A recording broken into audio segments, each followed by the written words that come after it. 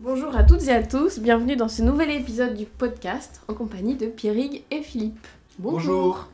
Épisode 5 Orientation. Alors, on se retrouve dans cet épisode pour parler du coup du parcours de recherche d'histoire à Nanterre.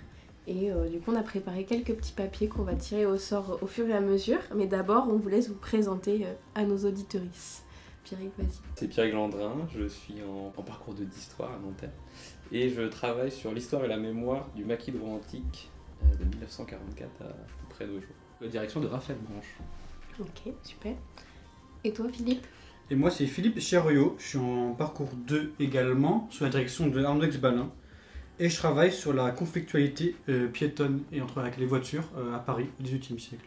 Alors du coup moi je suis Alex Morisset et je travaille en histoire euh, moderne, donc également sur le XVIIIe siècle comme euh, Philippe, sur euh, la sociabilité de Madame Berthier de Sauvigny, qui est une noble parisienne.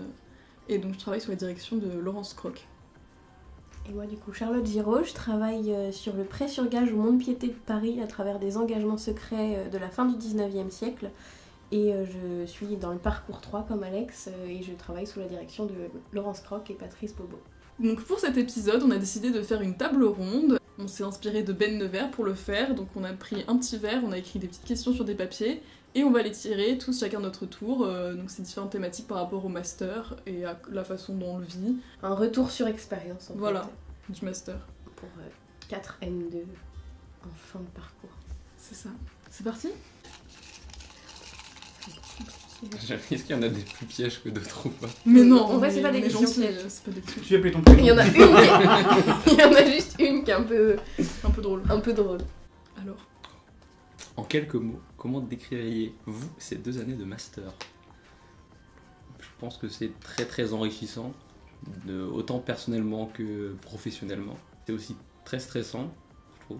Ça fait pas mal de pression et, et c'est assez nouveau de passer de la licence au master, d'avoir un sujet sur lequel travailler pendant deux ans. C'est aussi le format Et t'as vu beaucoup la différence entre la licence et le master? Sur, je sais pas, l'autonomie euh. Ouais, beaucoup plus, je pense. Mais c'est c'est mieux, je trouve ça plus agréable au final que la licence. que Je pense que quand on était tous en, en L3, on avait tous un peu marre des partiels, on avait envie de, de travailler sur un sujet, d'avoir euh, les cours, enfin choisir spécifiquement nos cours, ce qui nous intéresse vraiment le plus. Donc, euh, ouais, je pense que ce serait, si c'est quelques mots, euh, enrichissant et autonomie, ouais. Ok. Je sais pas vous si vous en avez une expérience différente. Non, bon, on va pas avoir des, des grandes différences dans ce qu'on va dire, je pense, mais euh, si, enrichissant, c'est vraiment le mot. C'est, j'allais dire réveil intellectuel, c'est un peu fort, mais, euh, mais intellectuellement, c'est très, très euh, motivant. Bah, enrichissant, on l'a déjà dit, mais c'est très, très motivant, quoi. On- J'ai l'impression de, de lire beaucoup, euh, parce que Ouais. je lis beaucoup, mais d'apprendre beaucoup, de, de, ouais, de se rapprocher vraiment de ce que c'est de la recherche, de... Oui, non, mais vraiment, enrichissant, c'est le mot, pas grand-chose à dire de plus, hein, c'est vraiment ça. Stressant, oui, effectivement, il y a quand même un poids de, de travail et de, de doute, parce que à partir du moment où on fait de la recherche euh, qui se veut à peu près scientifique, ce qu'on fait à peu près nous, hein, même si c'est pas énormément, euh, il y a quand même le doute, quoi. Mm. Toujours tout ce qu'on fait, dès qu'on a une idée, on doute tout le temps. Et ça, on dirait pas, mais constamment, euh, et ça pèse un peu. Moi, je trouve Donc, que ça faut- pesait presque encore plus euh, en M1 où Ouais, du coup on n'avait rien écrit.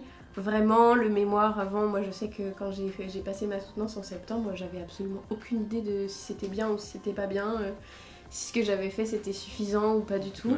Et j'ai aucune légitimité à écrire euh, quasiment 100 pages de mémoire, alors que cette année ça va un peu mieux, mais il y a des phases de doute, c'est sûr. Je pense que doute ça résume bien mon expérience. Mais surtout, ce que j'allais dire, c'est qu'en plus, c'est les... enfin, la question, c'est les deux années, et je pense Mm. qu'elles sont pas du tout pareilles. euh. Ouais, puis il y a eu le contexte qui était particulier, on était Ouais. vachement isolés quand même l'année dernière euh, en M1, C'est vrai. ouais. alors que cette année on a un peu repris. euh, on n'était pas beaucoup en vrai aussi, hein, quand même en cours. Ouais, je sais pas si c'était. Parce qu'en Master 2, on est, on est une petite dizaine à peine Ouais, en présentiel. ouais. en présentiel. Je suis à distance, mais j'ai suivi quelques cours après les semestres en présentiel. Ça, ça fait bizarre aussi.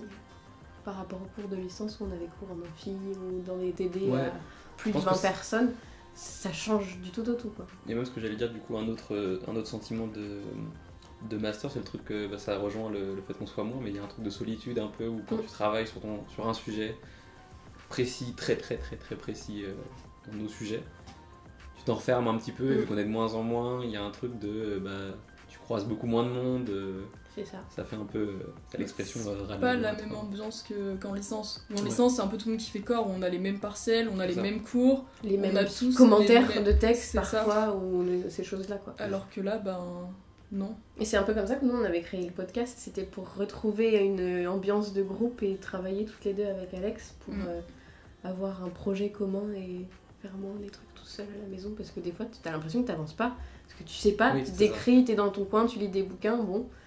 Qu'est-ce que Moi, je trouve que c'est l'inverse plutôt pour moi. Toi Je me t'avances sens moins seul qu'en Ah licence, ouais par exemple. et peut-être que vous, vous avez fait des rencontres aussi pendant vos, vos deux années de master. ça, Coco Non, mais euh, justement, en licence, en fait, on sort énorme- énormément. Ça fait l'effet inverse, en fait. Il y a trop de monde qui fait la même chose et en même temps des optiques tellement différentes. Alors que master recherche, on est peut-être beaucoup moins, mais en fait, euh, bah, quand on parle à quelqu'un de ce qu'on fait, bah, ça percute tout de suite parce que Mm. Il a les mêmes problèmes de méthode, de, de travail, Même de si doute, c'est pas les mêmes de sujets, c'est les questionnement, mêmes de questions. fatigue, de tout ce que tu veux. Donc, euh, en fait, on est plus proche qu'en L1, en L2, Mm. en L3. Toi Alex, euh, Je suis d'accord. Bah, c'est qu'à la fin, on est plus éloigné, en même temps, on est plus proche par certains, certaines choses. Mais on sent aussi qu'on a pris un. On a pris du galon par rapport à la licence, où on voit que le... là, on est vraiment dans, un peu dans. On a un pied dans le monde des historiens par rapport à la licence. On était quand même beaucoup dans les cours à apprendre des dates, etc., sans vraiment faire de l'histoire. Alors que là, on fait de l'histoire. Et je trouve que c'est un... un point de vue qui est complètement différent et qui fait que tu sens que tu fais corps avec un certain type de personnes, enfin avec les historiens, où on se sent Mm. plus proche de ça, par exemple, que des gens en licence. Même le fait d'être suivi par euh, une personne ou Oui. deux, dans mon cas, euh, deux directeurs de recherche, ça aide à avoir un pied euh, dans le monde de, bah, de l'histoire. Et... Bah, beaucoup plus fort qu'en licence. Ouais, ça. Question suivante, Question suivante. Philippe, vas-y.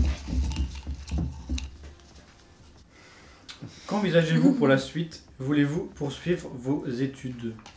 Bah du coup je pense que nos cas vont être à peu près différents et similaires en fait. Euh, moi je pars sur euh, une thèse pour la suite parce que euh, le, seul truc, non pas le seul truc, mais la, chose principale que m'a appris le que m'a apporté le mémoire et ces deux ans de master, c'était bien que la recherche c'est ce qui me plaît le plus. Donc pour l'instant, je continue dans ça, en espérant avoir euh, des financements pour euh, les années qui suivent. Mais du coup, ouais, une thèse sur euh, la poursuite de ce, de ce joli mémoire. Sur le même sujet, du coup. À peu près en élargissant, en, en comparant peut-être avec, avec Bruxelles ou d'autres villes. Ok. Et tu réflexion. voudrais rester à Nanterre Tu voudrais faire ça l'année prochaine Tu sais Bah, à pour l'instant, je, je compte être dirigé par Arnox Balin, donc oui, rester à Nanterre, peut-être avoir un, un contrat doctoral à, à Paris-Nanterre ou à Paris 8, parce qu'ils sont groupés dans l'université Paris-Lumière. Et du coup, ça serait pour la. Tu le prendrais euh, l'été pour réfléchir à ça et tu.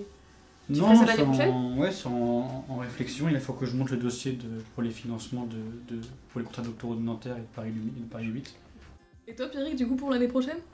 Euh, je pense que je vais continuer aussi comme Philippe sur une thèse, mais j'avoue que j'ai pas encore trouvé de sujet. Tu voudrais pas continuer sur la même chose? Bah, je pourrais l'élargir aussi, mais je sais pas si j'en ai vraiment envie. Je sais pas si j'ai envie d'élargir sur euh, la résistance juste dans le Finistère ou d'autres maquis ou d'autres. euh, euh, je pense si je continue sur une thèse, ça serait sur la Seconde Guerre mondiale aussi, mais, mais du coup ailleurs, donc avec des archives là qui seraient à Paris et pas, pas en Bretagne. Et en même temps, j'aimerais bien passer le, le CAPES, et en même temps, j'ai pas envie de commencer à enseigner de maintenant. Je trouve que Mm. euh, après le master euh, et après le mémoire, d'être lancé dans, dans un travail de recherche, d'écriture, je trouve ça mieux d'enchaîner directement avec, avec le doctorat. Donc j'avoue que j'ai envie de co- continuer euh, en recherche, mais c'est vrai que c'est assez effrayant de se dire qu'il y a 3 voire 4-5 ans qui s'ajoutent euh, Mm. au parcours. quoi. Et tu saurais avec qui le faire Ou tu restes avec Raphaël Blanche Euh, je sais pas. Peut-être avec Raphaël Branche, peut-être avec Julie Legac aussi qui travaille sur. De toute façon, tu euh, peux faire seconde. des, des partenariats avec deux professeurs, ça c'est pas mal. ouais. Et même ça va dépendre de ce que je choisis. Je sais que j'aimerais bien soit continuer la Seconde Guerre mondiale, soit faire quelque chose sur euh, le rap ou sur euh, l'histoire culturelle. Et je sais qu'à Paris 1, ils ont aussi de- des spécialistes de l'histoire culturelle. Donc euh, peut-être ouais, faire un truc avec deux, deux profs. Et en même temps, c'est vrai que si je fais sur le rap, euh, j'ai plus d'intérêt avec euh, Raphaël Branche, que je pense que peut spécialiser en rap. Et, Mm. donc je verrai, ouais. Ok. Intéressant. Et vous? Toi, Charlotte? Bah, Moi, c'est encore euh, le, la période d'hésitation euh, parce que je me suis inscrite pour la préparation à Greg euh, à Nanterre pour l'année prochaine. Mais je, je, sais pas, j'avais envie de me laisser une année pour réfléchir aussi à, tout ça parce que j'ai l'impression de ne pas avoir beaucoup de recul et que se lancer tout de suite dans un doctorat, c'est un peu euh, effrayant. parce que ça veut dire choisir un sujet et s'engager sur ce sujet, trouver tous les financements, parce que c'est pas quelque chose que tu peux mener euh, comme ça sans, sans avoir euh, bah, un salaire quand même, donc un contrat doctoral et éventuellement des bourses, parce que c'est aussi possible. Et euh, j'ai l'impression que c'est difficile aussi de mener ça en étant en écriture de mémoire ou... Ouais. Et de, du coup d'être... Bah, on a l'échéance déjà du 27 mai où on doit avoir fait notre soutenance en session 1 euh, bah, pour le Master 2. Et en même temps, début juin, il faudrait rendre le projet de recherche pour la thèse et trouver les financements.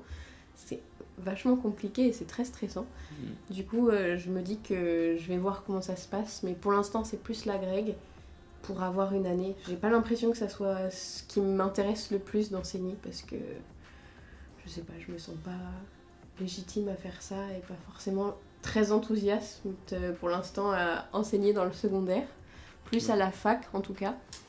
Donc euh, à voir. Mais sinon, si je continue euh, en thèse, ça serait sur le même sujet parce que j'aime vraiment bien la stat et la cartographie. C'est quelque chose que j'ai découvert pendant ces deux ans et franchement, je trouve ça intéressant.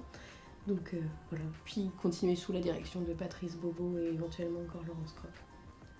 Et le même sujet. euh, Ouais, sur le monde piété, monde parce que du coup, euh, le- travailler avec le crédit municipal aussi, c'est quelque chose qui m'intéresse, parce qu'il y a des sources qui sont vachement intéressantes qui sont conservées là-bas. Puis euh, bah, le, la source sur la- laquelle je travaille a jamais été étudiée par des historiens et historiennes. Et du coup, c'est un peu le, le- le rêve, parce que c'est un sujet qui n'a pas été ex- exploité, donc il y a à peu près tout à faire dessus. Et j'ai l'impression que ça me laisse plus libre de, mes choix et de ce que je peux en faire et ce que je peux chercher là-dessus. Voilà. Et toi, Alex? Du coup, je pense que je vais passer soit à l'agrégation, j'aimerais beaucoup, mais il faut que je vois si j'ai la capacité ou non et si je suis prête à me dédier à ça euh, l'année prochaine. Ou sinon le CAPES, euh, bah, du coup, pour devenir professeur dans le secondaire, qui est un métier, je pense, qui pourrait me plaire, euh, du moins pendant les prochaines années. Après, à voir si je continue avec ça ou euh, est-ce que je pense à une thèse, parce que je pense que quand on fait de la recherche, on a toujours un peu l'idée de la thèse euh, qui nous vient et on se dit oh, et si je continuais, il y a matière après, est-ce que ça me plairait vraiment? Je sais pas trop. Donc, euh, ouais, non. Moi, c'est hésitation entre KPC et agrégation pour l'année prochaine, histoire de travailler un peu, parce que j'ai un peu soif de travailler aussi et de gagner de l'argent euh, par moi-même et d'être vraiment 100% autonome et de rentrer vraiment dans l'âge adulte. Presque. Mais en tout cas, je trouve que tous Ouais. les choix qu'on doit faire là maintenant, ça ressemble à un énorme engagement sur le Ouais. futur. Et quoi qu'il arrive, on s'engage dans quelque chose et t'as l'impression que tu peux pas On peut forcément pas se sortir. désengager, oui. Parce que si on passe facilement. euh, le CAPES ou la GREG, euh, bah du coup il y a une année de stage après. Mm. Et après, comment est-ce qu'on peut continuer dans, enfin, et faire un doctorat? Parce que des fois, c'est pas toujours évident. Et si on fait un doctorat, qu'est-ce qu'on fait après? Est-ce qu'on passe le CAPES et la GREG? Ouais. On sait pas trop dans quel ordre. Et on n'a pas beaucoup de modèles. Le tournant euh, post. euh, post euh, Master. post-master, ouais, il est. vachement Il est un peu. Mais en fait, c'est soit tu, tu te professionnalises et tu travailles direct et t'as Mm. envie de rentrer dans la. Enfin, pas, des fois, c'est même pas envie, mais t'as besoin, T'as besoin, de oui. rentrer dans la vie bon, active pour avoir de l'argent, pour rembourser les prêts étudiants que t'as fait, pour pouvoir payer ton loyer. Mm. Ou alors tu continues avec euh, des études plus longues, mais il y a un risque. euh, C'est même pas un risque, mais c'est quasi sûr de précarisation où Mm. tu. Puis si on passe les concours, on n'est pas sûr non plus de les avoir. Donc C'est une année en plus. Est-ce qu'on travaille à côté parce que ça peut mettre en péril l'obtention des concours? Enfin, il y a plein de questions qui entrent en jeu et qui font que Et c'est euh, peu compliqué. pour le CAPES, justement, et pour la GREG, on entend souvent que bah, tu l'as au bout de deux ans et pas d'un an. mhm. Et donc tu sais que c'est un gros gros Ah, engagement et que t'en as pour deux ans à faire ça. Et c'est stressant de se dire, waouh, là les deux prochaines Mm. années, j'ai pas de vie et je bosse mon concours à fond pour l'avoir. Et c'est un choix qui est pas évident à faire, de se dire, est-ce que je consacre vraiment deux ans de ma vie à faire ça ou non? Et je sais pas si vous avez ce sentiment aussi de lassitude d'être en cours euh, aussi, parce qu'on a 22, 23, 25 ans autour de cette table. Et je sais pas, ça peut être aussi un- une question est-ce que, Bah, est-ce que je- vous en avez marre d'être à la fac? Est-ce que vous avez envie de passer à autre chose? Est-ce que vous avez hâte de rentrer dans la vie active ou pas du tout? Vous voulez continuer euh, longtemps? Bah non, du coup, moi, la fac, ça me plaît bien. Donc, euh, tu vois, travailler en thèse à la fac, ça me plaît. tu vois. J'ai pas, peut-être pas tellement envie de m'engager dans la vie active directe. Moi, je Ouais, trouve que c'est que la fac, il y a, il y a un peu le double côté avec le Covid, où à la fois, bah, où moi par exemple, je trouve qu'un master, là, on n'avait pas assez de cours et j'aurais aimé que ça soit plus scolaire en fait, qu'il y ait plus de cours, où ça, ça me manquait. Je pense que je suis la seule à être comme ça, mais j'aime la bien. seule, quoi. Il y a une pièce, dehors, t'es toute seule. Je pense qu'il y a que moi là-dedans.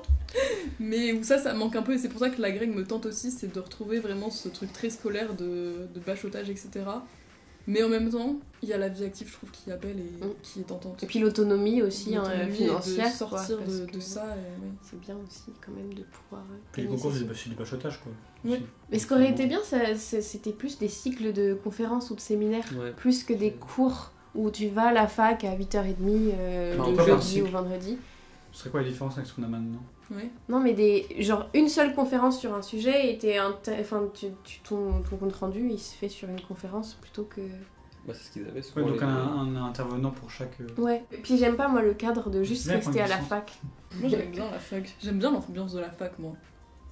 Moi j'aimais mieux, tu vois. Les cours à l'EHESS, moi j'ai adoré. Le fait de bouger, de rencontrer de nouvelles Ouais, mais je pense que personnes. c'est peut-être par ça que t'entends en cycle, mais le fait d'aller. Je sais que tout, il y a plein d'autres, enfin les autres facs. Ce qu'on a fait nous aussi euh, l'année dernière, le truc, euh, le séminaire de découverte d'une autre matière.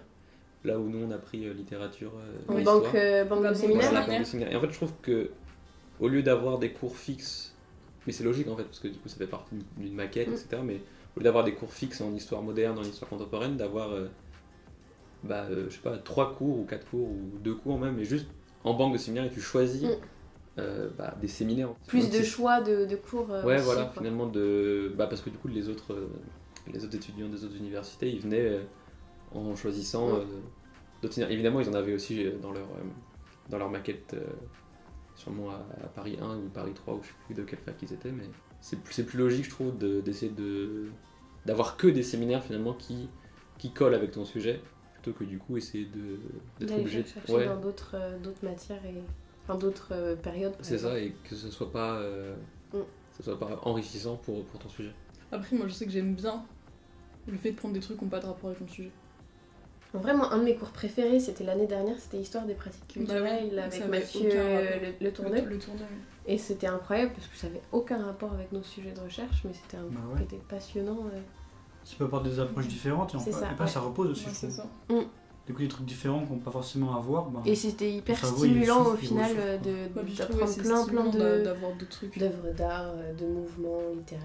euh. Il y avait plein de, il y avait ça. plein d'aspects. T'as vu ça en littérature Genre, c'était pas reposé un peu d'avoir un cours de littérature qui avait pas forcément à voir ou de loin Bah, c'était sur la guerre quand même, là, le cours de littérature bah, qu'on a suivi avec Pierre Ah Rigonson. oui, vrai. Mais c'est, enfin, ouais, je comprends ce que vous voulez dire, mais c'est vrai que Toi, tu préfères ouais, quand y c'est a en une- lien avec ton sujet que ça te sert directement dans l'immédiat? Ouais, enfin, parce que même si c'est pas exactement sur mon sujet, mais ouais, qu'il y a un. Un lien. Que, que je puisse le raccrocher là, c'est vrai qu'il y avait, il y avait très peu de lien entre euh, forme du pouvoir au, au 17e, 18e et. À part le premier cours. Ouais, sur voilà, les- la micro-histoire. l'échelle de. C'est ça, ça m'intéressait et après c'est. Enfin, quitte à ce qu'il y ait que des. qu'il y ait que 2-3 cours, autant que ce soit 2-3 cours qui vraiment Mm. t'intéressent et qui, quand tu vas à la fac, du coup, te poussent à avoir envie d'y- d'y aller et de Mm. continuer à y aller. Alors, question suivante. Pour Pierrick, du coup Quels sont vos conseils pour nos camarades qui décideraient de s'orienter dans un parcours de recherche en histoire? Alors moi déjà, hein, euh, un de mes premiers conseils, ça serait de trouver un ou une euh, bon ou bonne directeur ou directrice de recherche. Parce que je pense que la relation que tu as avec ton, ta directrice, euh, directeur de recherche, est assez importante et peut être très motivante ou très démotivante selon la façon dont ça part et dont tu as envie, enfin, ce que tu mets dans cette relation. Si t'as envie que ça Mm. soit quelque chose où euh, tu deviens quand même assez proche de la personne, enfin où tu la contactes régulièrement par rapport à la recherche, etc. Ou si tu décides de pas communiquer avec. euh, Donc moi, c'est avec ma directrice où on se voit régulièrement, euh, on échange facilement par mail, etc. Elle m'a accompagnée aux archives à Vire par exemple, et le fait de pouvoir faire ça, ça crée quand même un lien qui est particulier et qui est assez intéressant. Et quand ça se passe bien, je trouve ça motive. Enfin, et moi, je sais qu'à chaque fois que je la vois, ça me remotive pour le mémoire dès que j'ai un Mm. bad mood du mémoire. Je sais qu'il suffit que bon, je la vois rendez-vous pour que ça reparte et qu'elle me rassure et qu'elle me dise que ce que je fais c'est pas si mal, que bah, je peux faire ça, etc. M'orienter euh, pour euh, être bien motivée. Donc je dirais euh, bien trouver son directeur ou sa directrice de recherche et ne pas hésiter à le contacter parce que souvent c'est des rendez-vous qui font du bien ou qui euh, nous mettent un peu un coup de pied aux fesses pour nous dire bon bah là il faut que je me réorganise ou que je fasse autre chose ou là je pars dans une mauvaise piste, il faut que je me réoriente. Bah après, du coup, c'est plus. euh, parce que bien choisir, quand on voit un mail, un, un chercheur pour lui dire est-ce que vous voulez bien. euh, Bah Le après prendre en c'est le charge, prendre aussi le choix, il est un des- peu par rapport Oui. aux thématiques qu'il fait. Donc c'est plus dans ce que tu apportes dans Oui, la relation de travail qui fait que ça peut être bienveillant ou pas, quoi. oui. C'est ça. Puis c'est ce que tu fais aussi de cette choix. relation. Bah c'est aussi le choix où tu choisis la personne, où tu peux, si tu sens que par exemple quand tu as un rendez-vous pour parler de ta recherche, euh, avec euh, la personne. Si tu sens que bon, prof il est pas, il est pas dedans, qu'il est pas hyper euh, chaud à te suivre, qu'il ça va pas s'investir pour toi aussi, parce que ça demande aussi de la part des profs un certain investissement. Donc si tu sens que la personne, bon, ça, ça le saoule, qu'elle a pas trop le temps, qu'elle gère déjà 3 milliards de trucs à côté, je pense que c'est mieux de changer. Oui. Oui, mais tu peux pas choisir ton Oui. sujet en fonction d'un directeur ou d'une directrice de mémoire non plus. Ça doit Oui, être un peu un équilibre. euh, C'est ça. Et Mais je pense l'équipe se construit sur ce que t'apportes toi dans le fait de, Oui, tra- donc, de bien travailler, en d'envoyer fait, des mails et tout, de faire des rencontres. euh, Ouais, faut anticiper euh, et le prévoir assez tôt en L3 pour ça rencontrer d'abord la personne avant. Mais ils font toujours la réunion de. Oui. où ils viennent tous. D'orientation, euh, ouais. Que Oui, mais du coup, il y a cette réunion-là, mais après, il faut aussi se dire euh, et se motiver avant les partiels, Oui, parce que ça. t'es toujours enfermé dans ton, dans ton mood de partiel, il y a les cours et tout ça, tu Mm. prends pas forcément le temps en L3 de- d'aller contacter les profs, mais d'en rencontrer plusieurs, ça peut être intéressant. euh. Ouais. Mais du coup, la réunion, c'est bien parce que tu as un, donc un pré-contact de réunion très distance, enfin avec du recul où il dit juste euh, ça va être ça le M2, nous on travaille, je travaille à peu près sur ça, ainsi de suite. Et après, tu as la rencontre de. Ben, Oui, c'est ça, mais bien en charge personnel, du coup. Moi, j'en avais rencontré plusieurs, j'avais échangé avec plusieurs profs. euh, Ah ouais? Ouais. J'avais rencontré euh, Raphaël Branche, parce qu'on avait cours de pouvoir, savoir et croyance avec elle. Ouais. Et euh, on avait échangé beaucoup par téléphone et par mail pendant le confinement. Mais je savais que je voulais pas du tout travailler sur la Seconde Guerre mondiale ou la, la guerre d'Algérie. C'est plus gardé. Du coup, bah, juste, elle m'avait donné plein de conseils et je lui avais parlé du coup de mon projet de travailler sur le crédit municipal et le monde piété de Paris avec Patrice Bobo. Et en fait, elle, elle m'a conseillé De sur des lectures par exemple ou sur des archives, alors que c'était pas du tout son sujet. Mais ça faisait du bien d'avoir cet échange. euh, et puis après, bah, du coup, Patrice Bobo euh, et Laurence Croc, euh, ça s'est choisi un peu comme ça. Mais j'ai pas choisi mon sujet en fonction d'un prof en tout cas. C'est ça, ce que j'allais dire en plus, c'est qu'on a eu la chance d'être tous en L3 à Nanterre Mm. Oui. et d'avoir vu. Qui étaient les profs, de étaient les connaître profs les profs, voir. euh, Connaître, oui. Et globalement, no- notamment, moi je sais que j'ai- je suis parti de, de Quimper où j'étais avant pour ça en fait, pour pouvoir être dans les locaux avant et pouvoir me dire. Euh, tu sais, tu changes pas de la L3 au Oui. master parce que pour les, les, les gens qui, qui commencent à Nanterre ou dans n'importe quelle autre fac, en, en M1 en changeant de fac, c'est très dur de prendre contact juste par mail Mm. ou d'avoir envie de- d'appeler tout le monde ou d'avoir des numéros, etc. Donc ça, Puis en plus de refaire son cercle de sociabilité euh, à Nanterre avec les, les Il y a une manière de travailler. Je sais que moi, ce qui m'avait plu euh, quand j'ai appelé Branche, c'est que je sais que j'aime bien avoir un directeur qui est pas trop gentil avec moi. Tu vois. Ouais. J'ai pas envie que ça soit mon. Mais c'est vrai, mais. pousser quoi. Ouais, non, mais f- j'ai même au-delà de- d'être poussé, parce que c'est d'avoir quelqu'un- une relation très sérieuse de. Bah, Mm. Si c'est pas bien, on te le dit. Si c'est bien, on te le dit. Ouais, voilà, Ouais. c'était très honnête. Et je sais que quand je l'ai appelé la première fois, euh, j'avais un premier sujet et elle m'a dit Bah, en fait, non. c'est- Ça, ça marche pas comme ça, faut faire comme ça. Ouais. Et j'avoue que cette, cette relation-là, euh, très professionnelle, c'est aussi euh, ce que j'allais dire du coup d'avoir trouvé le directeur qui a une méthode de travail. Bah, qui te correspond. C'est ça, moi aussi, quand on s'était appelé, elle me disait il y a des profs qui, qui te donnent un sujet, quoi. Qui te disent tiens, ton sujet, ça va être ça.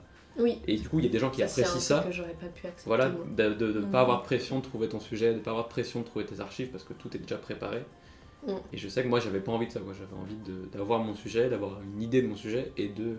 Parce qu'elle m'avait dit de par toi-même chercher les archives, l'approche que tu veux en faire. euh, Oui, tout faire tout Voilà. seul. Très autonome en fait. C'est Parce ça. que du coup, après, t'as du sens à ta recherche parce que tu travailles quand même au moins deux ans dessus. Donc c'est quand même mieux que ça soit un sujet que tu as choisi. Après, ça peut être aussi une solution d'être euh, guidé parce que t'as aucune idée. Et puis même au-delà de ça, t'as as moins la pression de- de- d'avoir à chercher Tout les de- tout ça. on va dire que tout est déjà préparé. Mm. Et du coup, t'as plus, as plus de place pour la réflexion et pour. euh, Et surtout aussi, même si au-delà de ça, si tu te trompes, si t'as pas envie de se faire ce sujet-là, ce sujet-là tu peux. euh, Mm. Tu peux te relever beaucoup plus rapidement que si c'est toi qui fais ton sujet, qui le construit, qui commence à lire de la Ça bibliographie pendant trois mois et après tu fais bon bah en fait euh, soit c'est pas possible, soit j'ai pas envie de le faire. Et c'est vrai que du coup quand il y a des profs qui ont des sujets tout préfaits, euh, c'est plus facile quoi. Bah, ça t'offre un certain cadre. Après, souvent, je pense que dans ces cas-là, souvent, ils sont plus exigeants aussi. Parce qu'ils Ouais. savent que t'as une partie du travail qui a été un petit peu pré-mâché avant. Et puis c'est des sujets en général, les sujets qu'ils te proposent, c'est des sujets qu'ils maîtrisent. Parce que soit ils ont déjà travaillé dessus, soit ils ont commencé à farfouiller quelques sources ou autres. Et du coup, ça peut être un complément de leur recherche à eux. Mm. Et du coup, je sais pas, c'est un... c'est pas la même chose. parce que- Non, c'est pas le. Bah, enfin, de toute façon, je pense que, soi-disant, ton sujet, tu vis pas du tout le même mémoire que. Enfin, Ouais. le même master que quelqu'un d'autre.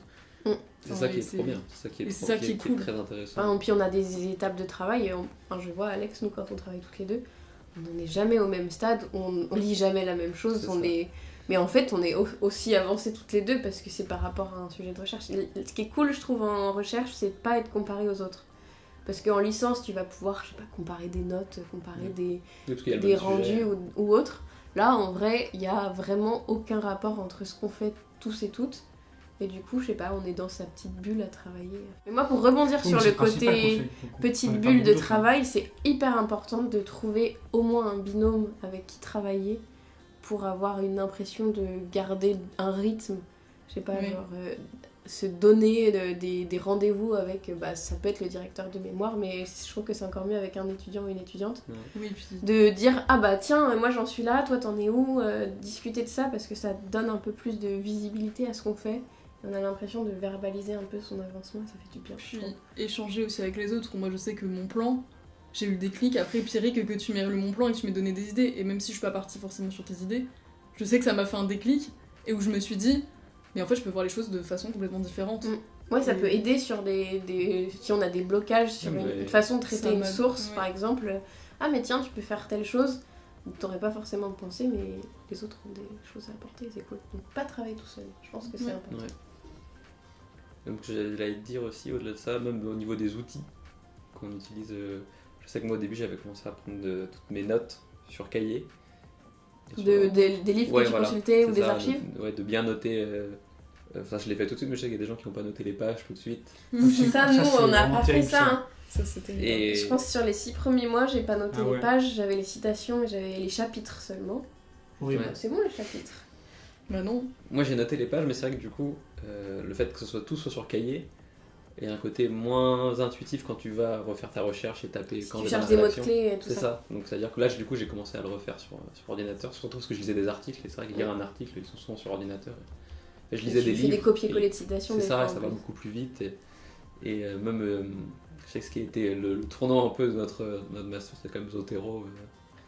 D'être. euh, Aussi, oui. de pas avoir à faire des notes de bas de page en tapant tout le nom du truc, à apprendre par cœur que c'est euh, nom, prénom, le Ouais. titre du livre, ville, Puis passer euh, des heures et des heures euh, à faire que ça, non, ça aurait été dommage. Ça aide oui. énormément, même le fait de. Je sais qu'on a eu un cours, un cours euh, en fin d'année là où les chercheurs montraient beaucoup comment ils, ils rangeaient leurs archives, ils classaient leurs archives. euh. ça, je trouve que c'est aussi très important parce que je sais qu'au début, moi, je, quand je triais mes archives sur mon ordi, j'ai pas pensé tout de suite à tout renommer en fait, je renommais juste le dossier. Oui, pas mettre les numéros de page ou le numéro ça, je de- sais que pour les gens qui sont en moderne, il y, a- il y a le folio, mettre le numéro de la page, etc. Mais, euh, mais c'est vrai que moi, quand j'ai commencé à noter, j'ai pas commencé à renommer tous mes, Mm.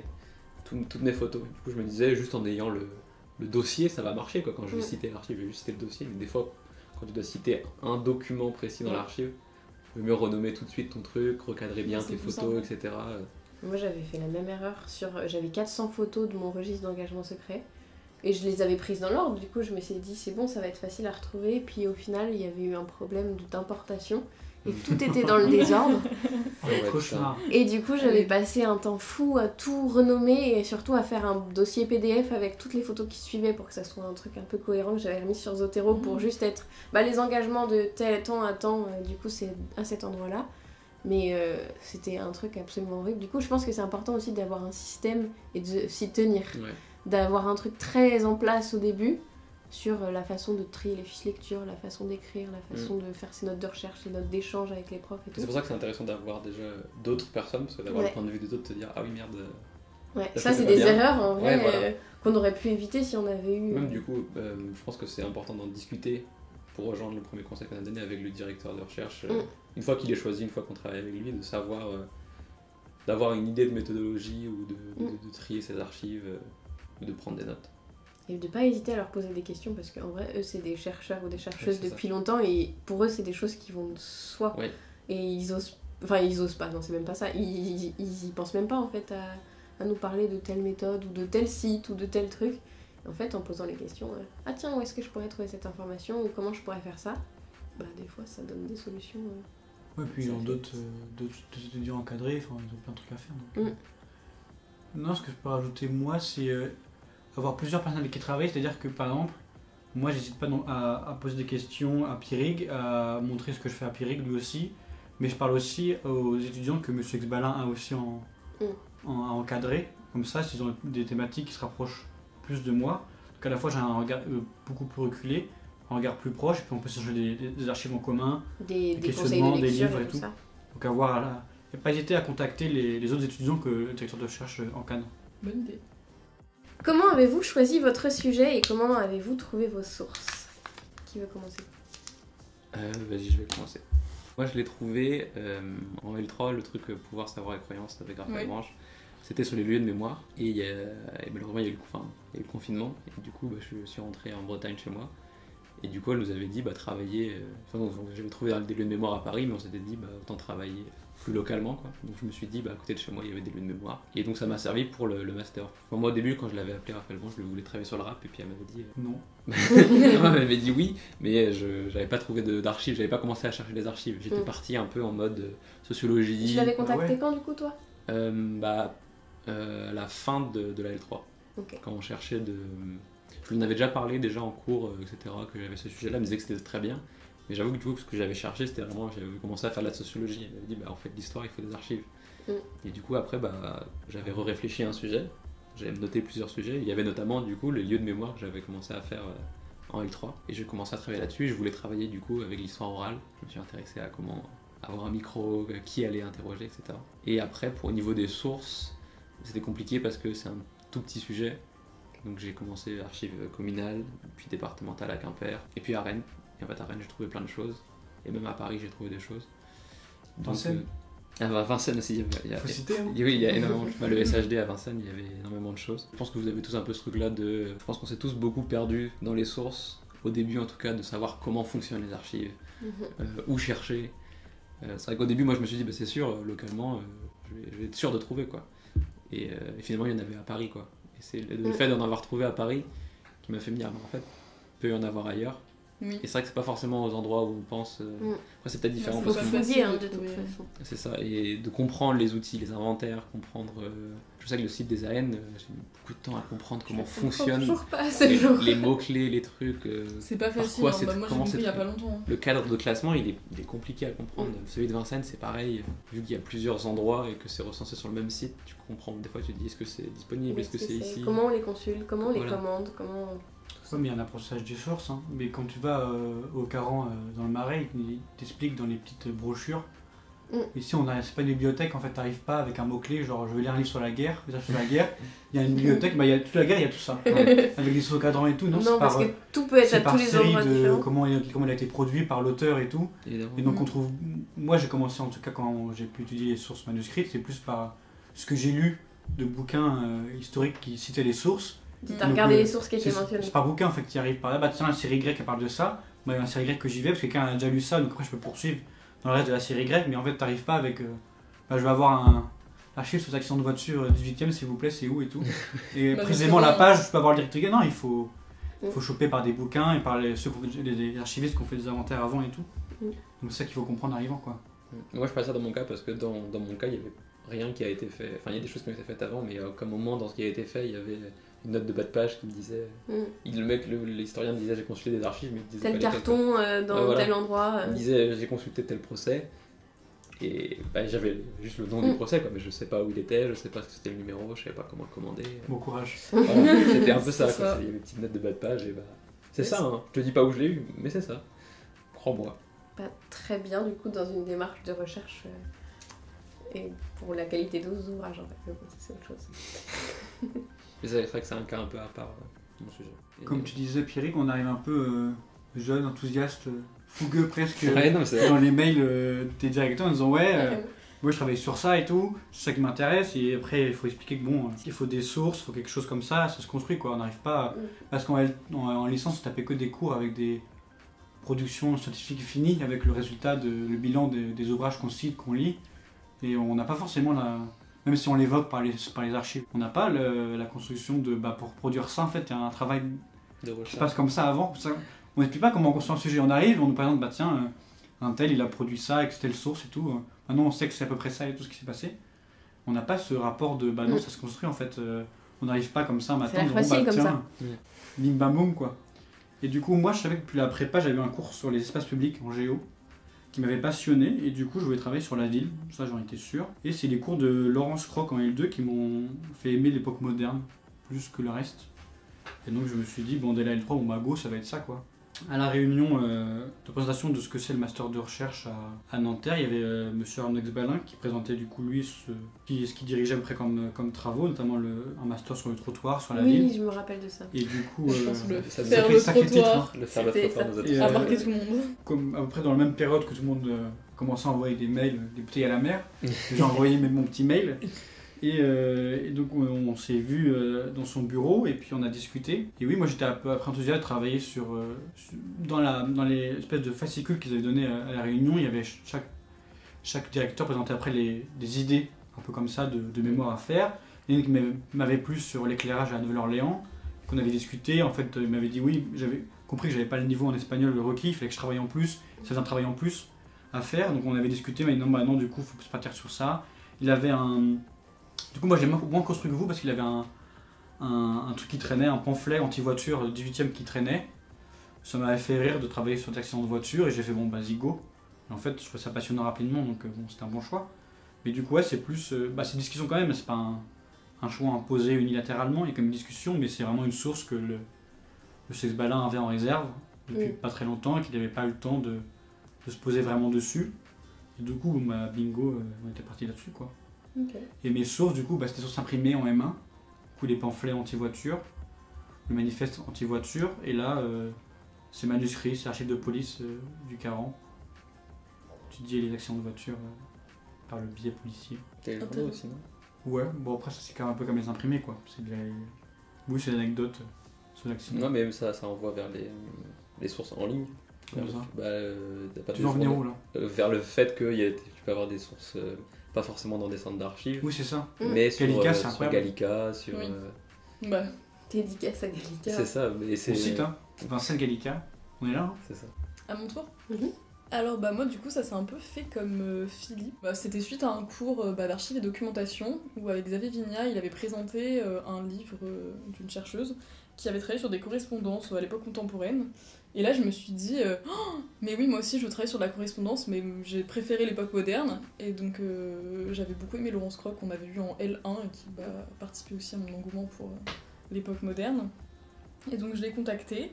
Je lui ai dit que je voulais travailler plutôt sur de la correspondance, sur quelque chose en rapport avec les femmes ou le couple, les rapports de pouvoir dans le couple. Et donc elle m'a dit qu'elle avait, qu'elle connaissait un carton d'archives qui se trouvait aux archives nationales sur le site de Pierre Fitt, euh, qui avait jamais été ouvert. On savait pas ce qu'il y avait dedans. Et euh, trop c'était de la correspondance, a priori.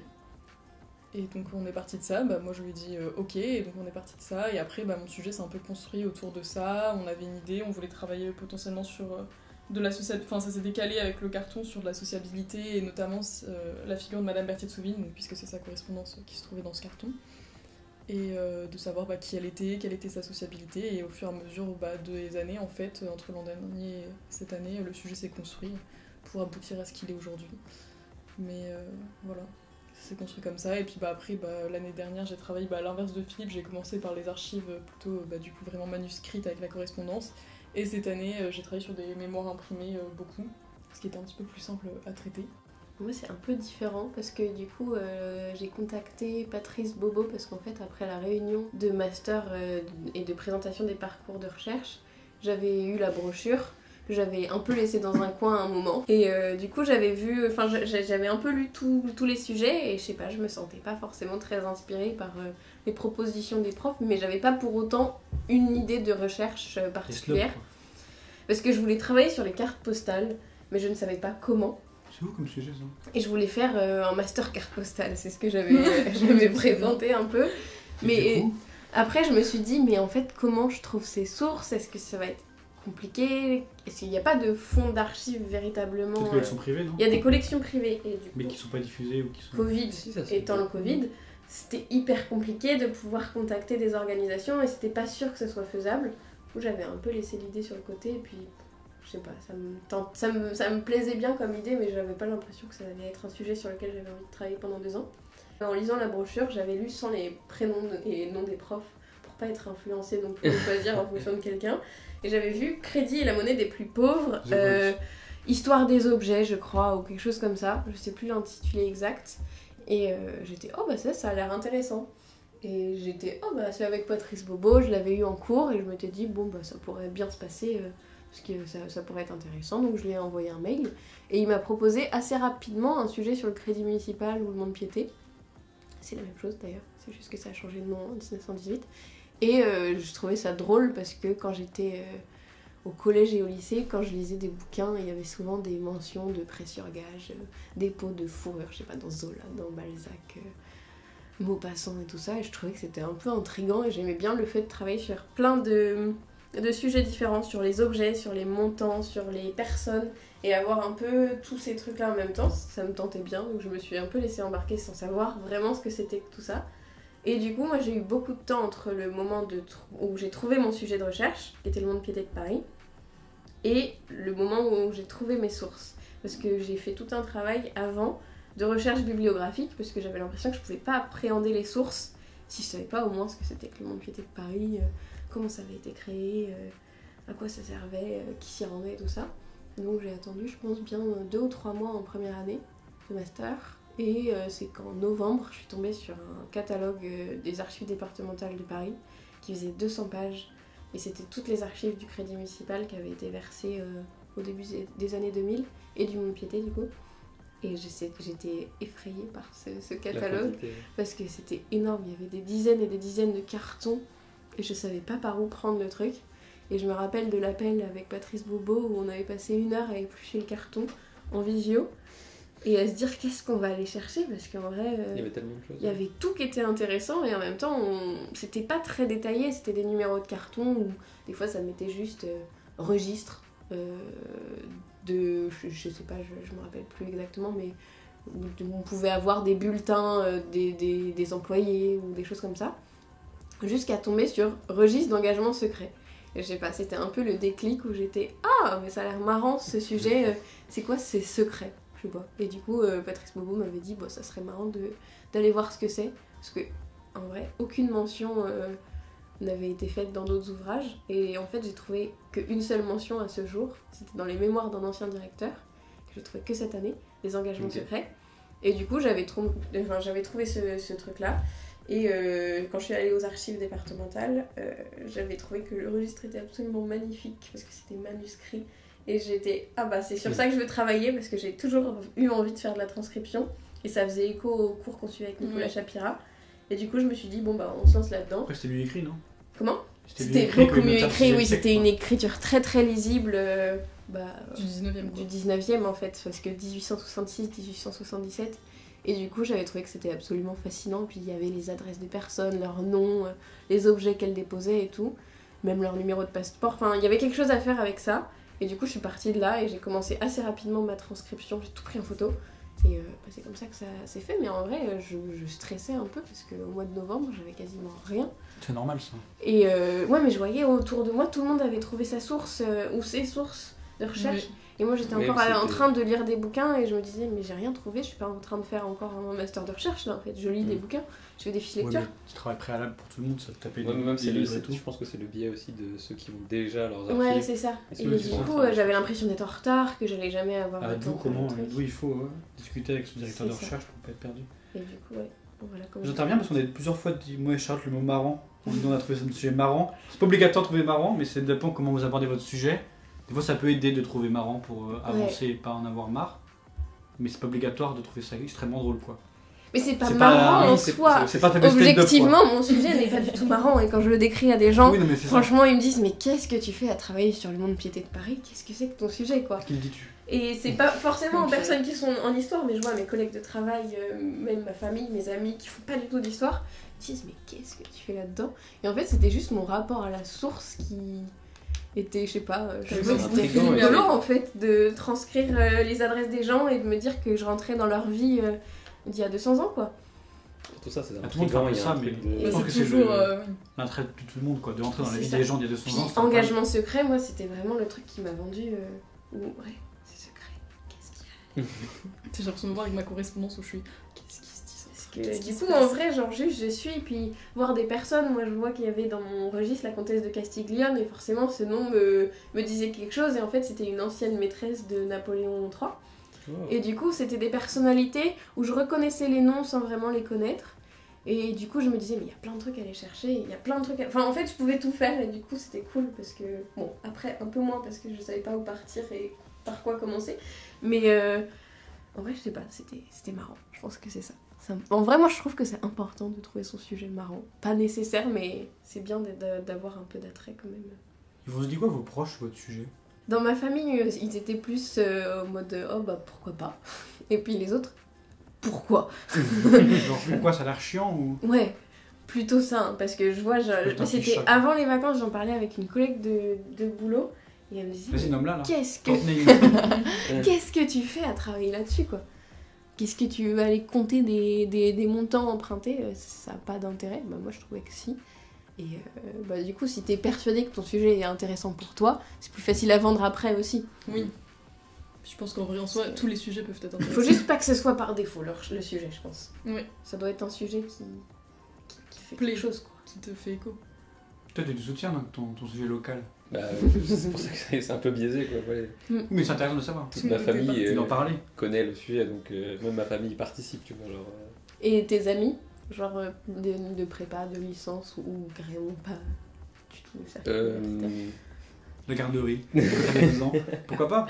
Non, mais c'est Je tes élèves, ok, les enfants que tu ceux, gardes. ceux du lycée ou de, de licence, enfin licence c'est- c'est plus vous, donc, euh, mais ceux du lycée euh, c'était plus, non pas non plus comme quelque chose d'extra d'extraterrestre parce que du coup ils c'était pas trop loin de chez eux.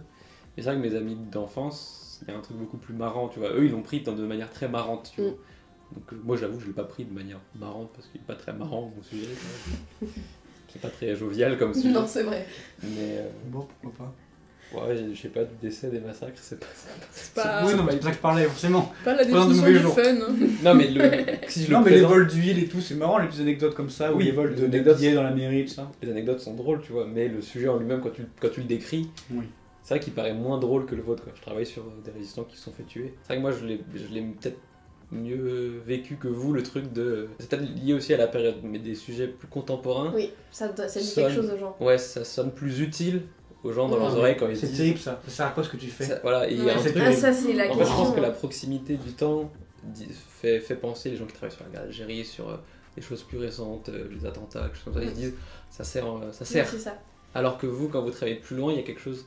Et c'est pour ça qu'il y a un biais, parce qu'il y a un truc plus, je pense, fascinant à Mm. travailler sur des archives euh, modernes ou du 19e, parce que c'est un temps plus, plus révolu. éloigné et du coup, on a l'impression d'avoir un. Et de rentrer dans un monde inconnu. Mais vraiment Alors que rentrer- ouais, voilà. Bah, toi, dans tes correspondances, c'est le cas. Enfin, tu rentres dans la vie. euh, Bah, c'est que c'est tellement éloigné de nous, par exemple, sur les correspondances, c'est pas du tout les mêmes codes. Et même la société moderne, c'est pas du tout les mêmes codes qu'aujourd'hui, il y a plein de trucs qui changent, etc. Et là, t'as accès à ça et tu te rends compte que bah, il y a un mode de fonctionnement que tout le monde a à l'époque et que nous, on essaye de percer. Et Mm. de se dire, aujourd'hui, ça fonctionne comme ça, à l'époque, ça fonctionnait pas pareil, les relations humaines. Et moi, je me dis, comment ça fonctionnait? Mm. Et donc, ça peut être différent de, de nous aujourd'hui et je trouve ça passionnant.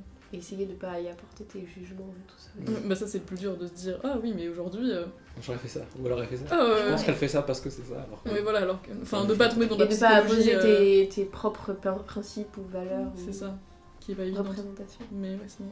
Et donc je pense que c'est peut-être pour ça que vous.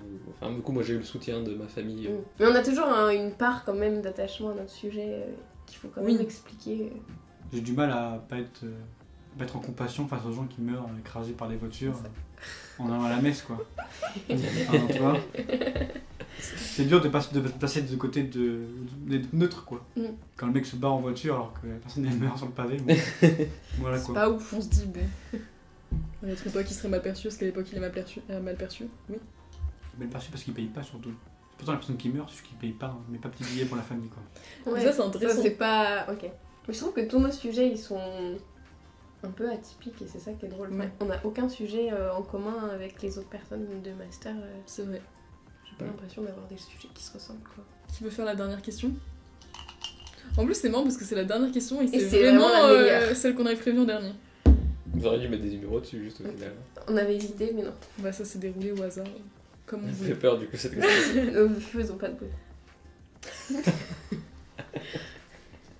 Vous êtes prêts? Suspense. Non, je. Comment ça va la soutenance Le blanc. C'est quoi la question C'est de savoir. euh, Où est-ce que vous en êtes euh, Comment, Ah, d'accord. comment, Comment vous vous sentez par rapport à la, à la dernière ligne droite là, du master Ah ok, je pensais que c'était juste par rapport à la soutenance du coup. Bah, C'est aussi- Oui, c'est Et comment coup, vous allez, vous, euh, par rapport à tous ces trucs-là Euh, J'avoue que c'est hyper stressant. Le- Ouais. Le, côté date butoir, ça arrive à ce moment-là. Ouais, mais je l'avais l'année dernière aussi. Ouais, on l'avait la dernière, mais le, Plus éloigné, je veux bien, mais. le fait qu'elle soit plus éloignée. Et même j'ai eu l'impression qu'on l'a appris un peu plus tôt l'année dernière, mais c'était une, un- c'était biaisé. C'est ça que le, que- le mail, le mail est Le tombé mail sec. de Ouais. Marie Favreau, il était. Ouais, parce Bah, que je nous a pas longtemps dans les- qu'on a su quand même euh, que ça. la première session c'était le 27 mai. bah, c'était mi-avril. ça m'a. ça m'a- Ouais, c'était il y a deux ça semaines. hein. Deux semaines, ouais. Ça m'avait un peu surprise. Ça, ça a bouleversé que- vos calendriers, vous? Bah, Moi, ouais. En tout cas, ça l'a. Honnêtement, oui, parce que je pensais pas passer avant le 27 mai en vrai. Je trouve qu'il y a un côté, là, le fait d'avoir le 30 juin, je pense que ça nous a tous mis mal, parce qu'on s'est dit, Oh il n'y a Ça, pas le choix en fait. Ouais, ouais. Parce qu'à la base, moi j'avais prévu de soutenir au, au 15 juin, Mm. ou d'avoir fini pour le 15 juin, donc en soi ça rentre pile dans les clous. Ah mais là, il y avait quand même un truc de, je peux pas me tromper. Ouais. Avant, il y avait toujours le, oui, mais sinon, il y a le mois de juillet, le mois d'août, le mois de septembre, bon. On avait bien pris ce temps-là euh, l'année dernière. Voilà. en plus. Donc il y avait vraiment cette option qui était possible. alors que là, non. Et là. euh, Mais par contre, je trouve qu'il y a un côté plus motivant du coup, de savoir que ça va arriver. Moi, j'ai eu un moment. euh, C'était le côté un peu rappel à euh, l'ordre nécessaire quoi. bah, Et, mais pour le coup, je le prends, je sais pas vous, avec beaucoup moins de stress que que l'année dernière. Ou l'année dernière, où quand il fallait commencer à rédiger, il y avait une peur de, euh, de légitimité déjà de. Ah ouais. Mm, Parce que mm. je suis capable d'écrire, je suis capable de dire euh, ce, ce livre-là, il est pas, il est pas Ah, foufou. C'est horrible ça. Ce- ce- cette source-là, je, l'utilise- je la, je la traite comme Mm. ça parce que j'ai lu ça, parce que j'ai lu ça, parce que je veux la traiter comme ça. Il y a un truc là cette année où on est beaucoup C'est plus serein. Ouais, voilà, où on se dit déjà le fait d'avoir fait notre plan, d'avoir euh, d'être sûr que notre approche ça va être ça, c'est c'est beaucoup plus Ça rassurant. enlève un poids. Et il y a un truc de ok, je suis sûr que je veux faire ça maintenant, bah en fait c'est entre moi et, et mon Mm. clavier et c'est à moi de rédiger quoi. Puis du coup, vous savez combien vous devez rédiger de pages? Est-ce qu'il y a un minimum, il y a un maximum il y a- Non, c'est vrai que j'ai pas demandé, mais euh, 80-100, moi, c'est ce qu'il prédit. De texte, euh, de Ouais. corps de texte. Ouais, Texte pur quoi. Enfin, Ok. dans la bibliographie, les annexes, euh, tout ça. Ouais. Moi, je sais pas, que je le demande, ouais, mais dans ma tête, je m'étais fixé euh, entre 100 et 150. En tout? Non, pas en tout. Parce que je sais que j'ai pas- contenu pur Ouais, de contenu. Ah, Je c'est pense- 100 beaucoup, pages de texte de développement euh, avec partie de recherche, partie état de l'art. Bah, tu d'écriture, quoi. Ok. Ouais, pour moi, dans ma tête, Ouais. c'est moins, au moins 100, quoi. Bah, nous, c'est ce qui a été imposé de toute façon. Mais c'est peut-être que je me, C'est beaucoup. Hein. Je me rends pas compte, hein, mais je sais que j'ai beaucoup d'annexes de. de- 150 c'est beaucoup, 100 je pense que c'est un 100, c'est bon truc pour un Moi, je vise master. 90 ou un truc comme ça. Moi j'avais Oh, je fais 60 un l'année dernière. Ah ouais Moi, je te, combien vois, je te vois pas tenir. Je te vois pas faire Moi, je te que vois faire 90. plus aussi, hein. T'avais combien l'année dernière, Philippe 150 en tout. Et je suis à, j'étais à 100, 110 de contenu. Et du coup, tu voudrais faire pareil. moins Mais c'est pas que je veux, c'est que je pense que je vais faire moins. Non, je pense pas, moi. Je pense que tu te rends pas compte. En fait, j'ai l'impression que j'ai moins de trucs à dire. Bah, Je pense pas, je pense que t'en as plus, mais que tu t'en rends pas forcément compte. Mais Je vous pense que avez c'est ça pas commencé du coup, vous, la rédaction Vous êtes au Si, plan, vous en êtes où? J'ai fini mon plan là, en vrai, normalement je devais commencer aujourd'hui. Là, j'ai commencé déjà la rédaction de certaines parties, mais je, je vais la reprendre toute ma rédaction dans l'ordre, euh, Mm. étant donné que mon sujet est un chronologique. Je vais pas commencer par la dernière sur la mémoire et en fait me dire ah en fait euh, Il y avait ça. il y avait ça avant et je m'en suis rendu compte. Mais euh, mais ouais, ça- par contre c'est vrai que niveau quantité je me rends pas compte de ce que je suis capable de rédiger, Mm. de, de comment je vais traiter mes sources précisément parce que c'est vrai qu'on s'en est pas encore vraiment rendu compte. Je sais pas vous pour euh, le M1 mais enfin moi je sais que j'avais que un chapitre sur euh, à, à faire de rédaction sur des sources. Oui. Donc, Tu sais, tu sais jamais une source comment à quel point tu vas le Jusqu'où tu peux Ouais, voilà, jusqu'où tu peux l'user et dire ok, c'est bon cette source là, je l'ai utilisée de. A à Z et je peux la mettre J'ai de côté. tout dit sur cette source et tu sais pas qu'est-ce que ça représente en termes de d'analyse, de développement, qu'est-ce que tu es capable de dire. Mhm. C'est Ça, vrai tu que te rends compte en. Niveau en quantité, du coup là j'ai j'ai dit 100 150 parce que dans ma tête je me dis j'ai envie de j'ai envie que ça fasse 100 150 euh, que T'es ça un dingue quoi. Non mais parce que j'ai envie je Pour te dire quoi, après, D'avoir ça. ça. comme projet, même si tu veux continuer dans une thèse, c'est important d'avoir C'est un, un truc un peu un peu étoffé quoi. conséquent et étoffé. Après, faut savoir qu'on écrit, quasiment toujours plus que ce qu'on pense déjà. Tout Ouais. C'est ça. J'ai- T'écris moins que ce que tu penses. Donc c'est pour ça que j'ai envie de me fixer Tu refais de la plume, tu te sens pas dire putain, il y a des qui émergent, tu rajoutes, tu rajoutes, en Mm. fait, avec les deux bas de page, tout ça, ça Parce que moi j'ai trop tendance à aller à l'essentiel et à T'es hyper synthétique. Ouais voilà en fait je- quand j'écris un Bien truc. C'est, euh, mais c'est ce qu'elle m'avait dit Branche pendant la soutenance, c'est ce qui m'avait beaucoup servi. C'est il y a des moments où je développais pas quoi. Je disais juste ça et elle me disait mais vas-y En explique fait, pourquoi tu, dis ça. Tu. Mais dilues un peu, tu fais du suspense. Non mais non mais même pas du suspense. Au contraire c'est vraiment limite c'est du spoil quoi. C'est, Je trouve que la licence, ça nous habite un peu trop à ça. Enfin, du coup, euh, Bah, avec les commentaires de texte où fallait tout dire. euh, Moi, je trouve En que un même le même temps- Vincent Demont, il nous a dit euh, cette semaine ou la semaine dernière, Ah oui. soyez synthétique, tac tac tac tac sur il les vites et tout, dites ce que dites ce que c'est directement et tout. Alors que je trouve que justement le mémoire c'est prendre le temps de bien expliquer la démarche. Tu, tu prends du plaisir Après, à tout écrire, à prendre du temps, à bien détailler le truc quoi. Mm. Le plaisir est là aussi alors que tout directement, bon ben. Puis en vrai, le plus Voilà, difficile, c'est de se lancer. C'est ce qui m'avait Ouais. pris du temps l'année Ah bon dernière parce que le plan était validé, euh, je crois, au début du mois de juin, si je dis pas de bêtises. Mais J'arrivais pas à écrire dessus parce que je savais pas par où commencer, je savais Ouais, pas quoi dur. dire. Les premiers mots, ils étaient hyper durs l'année dernière. Là, un peu moins parce que du coup, tu reprends quelque chose. Et Mm. du coup, forcément, euh, tu dis, bah, j'ai fait ça l'année dernière, je voulais faire ça. Donc, je reprends là où j'en étais, quoi. Et du coup, je me suis plus facilement lancée. Mais euh, bah, la rédaction, c'est un peu aussi. euh, truc, ça- c'est les montagnes russes un peu. Où Oui. Il y a des moments Ouais, où t'as carrément envie t'exploses et je sais pas, euh, j'écrirais plusieurs pages dans la journée et d'autres où c'est la page blanche Ouais. parce que t'as pas envie, t'es Bah, pas inspiré. Ouais, tu sais pas quoi dire parce que c'est une euh, sacrée concentration hein, quand même de se poser devant son ordi et d'écrire sur son sujet un truc hyper cohérent C'est et ça. hmm. Puis pertinent. même, il y a- il y, a un stress de vouloir que ce soit bien tout de suite. Ouais. C'est-à-dire de, de se dire. Là, la phrase que j'écris, elle va être écrite noir sur blanc sur, sur la fin de mon Puis en vrai, Voilà. je phrases beaucoup. Bah, moi, je, des fois, je passe euh, 10 minutes sur une phrase et tu sais, je vais sur, euh, Ouais. sur le truc euh, normal, ça. CNRTL là où euh, tu mets le mot et tu dis qu'est-ce qui veut dire vraiment ce mot? Moi, c'est la recherche des synonymes Bah oui, sur le- aussi, le ça Crisco. j'adore. J'ai mon petit Sur le- dictionnaire Ah des synonymes à sur le côté. Crisco là, t'es en mode tu mets Je ton petit ça. mot et tu t'es en mode ok, je vais pas utiliser ainsi cette fois, je vais utiliser autre chose. Il y a un truc dans la rédaction de C'est normal, c'est 10 du poids des mots. va. On se en rend fait- compte en fait quand on écrit qu'on va mettre noir sur blanc Ouais, deux ans de recherche et il faut que ça retranscrive bien avec Et des mots choisis Hmm. ce qu'on veut vraiment dire. Exactement, oui, Ouais. voilà. Ce qu'on veut vraiment dire, c'est Puis Ça, ouais, c'est pas ça. facile. Moi, c'est ce qui avait été sens. plus difficile l'année dernière, c'était parler du coup de mes galères aux archives parce que le... fallait prendre rendez-vous et j'avais le droit à un rendez-vous par mois. Donc j'avais l'impression que je pouvais pas avancer Ouais. Et c'était hyper frustrant. Mais du coup, j'avais pris le parti de le retranscrire dans mon mémoire et de faire un Ouais. chapitre Moi je l'ai pas fait, tu vois. hyper personnel où j'utilisais le jeu. C'était la galère en vrai. C'était c'était dur, c'était.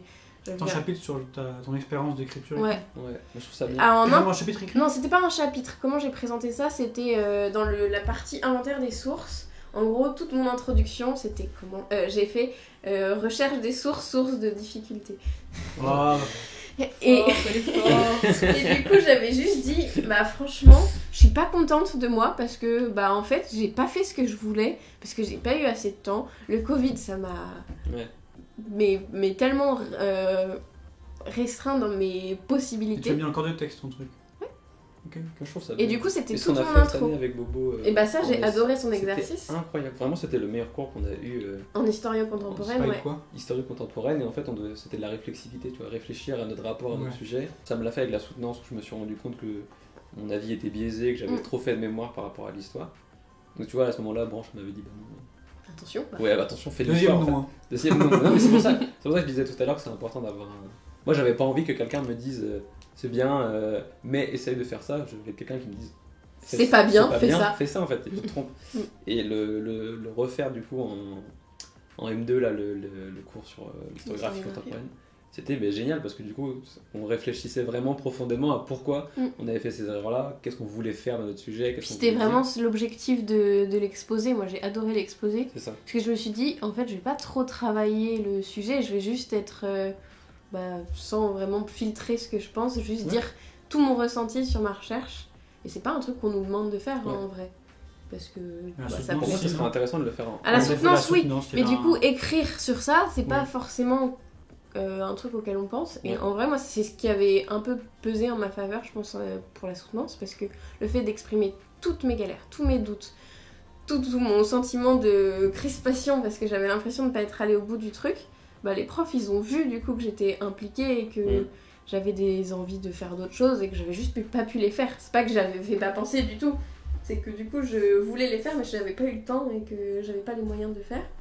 Et du coup, en vrai, c'était bien parce que l'échange il était sur ça. euh, globalement, la soutenance, tout s'est passé là-dessus. quoi. Une bonne idée. Donc, en vrai, moi j'ai fait encore, et je l'ai refait là dans ce, ce- cette rédaction de mémoire, une partie en jeu. La deuxième partie. Faut euh, recaler quoi. Ouais. Non, Il faut l'expliquer parce que je l'avais pas fait l'année dernière, je n'avais pas expliqué la part du jeu. Et ça, c'est un truc qui m'a été reproché. Voilà, du coup, j'ai fait une, je sais pas, j'ai fait une dizaine de lignes pour expliquer pourquoi je voulais euh, inclure le jeu dans mon récit et dans mon mémoire. Ok, ouais.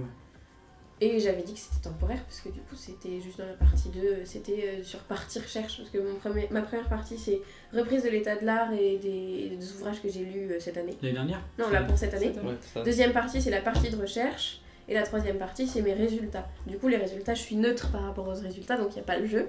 Mais dans la partie de recherche bah forcément c'est moi qui fais les choix et je trouvais que c'était tellement plus simple de mettre jeu que de dire nous allons euh, procéder à tel truc ou je sais pas, on a fait tel truc. Je trouve que Mm. c'était pas très honnête et pas très sincère, ça- c'était plus difficile de C'est le faire sortir. cet aspect-là, il est bien, ouais. Et du coup, de l'expliquer, en vrai, c'est bien, je trouve. Puis c'est un mémoire en soi, c'est pas un livre d'histoire qu'on Oui. publie. Donc je sais pas, c'est cool. T'as un petit peu de liberté. J'avoue moi, je, là, je, trouve ça bien de le faire, mais je j'oserais pas le faire moi dans le mien. J'ai l'impression que de le, le- pour le mémoire, il y a un côté Mais ça, petit c'est- d'histoire. C'est quelque coup, chose, je- c'est j'ai pas c'est envie de quelque mettre chose qu'il faut voir avec son directeur, sa Ouais. directrice, parce que je sais qu'avec. Laurence euh, Croc et Patrice Bobo, ça passait. Moi, je le verrais, tu vois, peut-être en. Il y a peut-être des intro, historiens et des chercheurs qui seraient. euh, Tant oh bah non, bien, surtout pas. tout, quoi. Oui, mais il y en a qui pourraient se dire euh, attention, quand même, on est en histoire. euh, Ouais. Non, parce Ouais. qu'il y a, il y a deux écoles en vrai sur ça. Oui, il y a le- Pas du tout de jeu. Mais s'il est assumé en soi, euh, c'est ça. c'est. Ça quoi. qui était plaisant d'ailleurs dans l'essai historio avec. euh, Et les exposés étaient intéressants Ouais, voilà, ça. de dire bah, je fais ça, j'ai raté ça, j'ai bien fait ça. J'ai trop fait de, de ça. J'ai passé trop de temps à faire ça parce qu'on perd du temps. Beaucoup, je trouve, en recherche en plus. On se euh, bloque des fois sur des trucs Oui. qu'on n'a pas besoin de continuer. Et c'est pas une question de perfection. Enfin, dans les transcriptions de sources ou autres, euh, t'as pas besoin de tout faire. Non, faire des choix. Faire des choix. C'est juste le truc le plus compliqué à faire. Tu le dis pas. Accessoirement. Moi, je voulais tout transcrire hein, parce que j'avais deux registres, euh, j'avais 10 000 engagements. Oui, c'est vrai que t'avais parlé de ça pendant ton exposé de. ah, mais- Ouais, allez, c'est parti. Bah non, Des- parce que c'est tellement long. Ouais. Troisième que... bah, voilà quoi. Voilà. Et toi, comment ça va la soutenance, Alex? Comment ça la soutenance Bah comme je disais tout à l'heure, hein, ça m'a mis un, un gros coup de pression euh, le mail, alors que bon, finalement j'avais quand même prévu de soutenir avant. Mm. Mais ça m'a quand même mis la pression, après j'étais mal. Et après je me suis dit bon bah go hein, c'est maintenant, faut s'y mettre, donc finalement ça m'a grave motivée par rapport à l'année. Parce que le fait de savoir que t'as une date butoir, je trouve ça te motive à te dire bon bah j'ai pas le choix, de toute façon c'est maintenant. Alors que nous laisser jusqu'au mois de septembre l'an dernier, je trouve, bah moi je sais que je me suis un peu... euh, Et reposer sur ça. reposer sur ça et que du coup bah j'avançais pas, j'étais pas motivée, etc. Et que voilà. là, euh, Puis c'est dur en vrai de passer l'été à travailler sur sa soutenance. Ah, moi j'étais en stage pense. en même temps, c'était Ah ouais horrible. Et je l'ai Bah, dit pendant ma soutenance, tu vois. Mais je, je pense que je vais pas assez dessus, mais c'est vrai que. T'as passé quand toi? Bah, euh, début Septembre. Début septembre? Ouais, je crois, ou fin août, je sais plus. Toi c'était fin juillet, Philippe? 7 juillet. 7 juillet? Waouh, ok. Attends, ils ont moins d'août. Chanceux. J'ai toutes mes vacances. De toute façon, il n'y a jamais assez d'un podcast pour parler de, de ce que c'est deux ans de recherche, mais. Oui, Fin de tournage. Fin de tournage fin de Un petit clap Merci beaucoup. Philippe Merci et Pierrick. Philippe et Pierrick, ouais. Et puis bah À bientôt. à bientôt. Au revoir.